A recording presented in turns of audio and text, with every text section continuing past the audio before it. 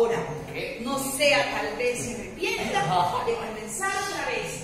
Tal vez un día su memoria le reclame no haber tenido el valor de enfrentar a sus fantasmas para encontrar el amor.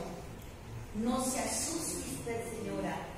Tal vez usted se equivoque, pero quizás un día no tenga que lamentar el haber luchado, volver a.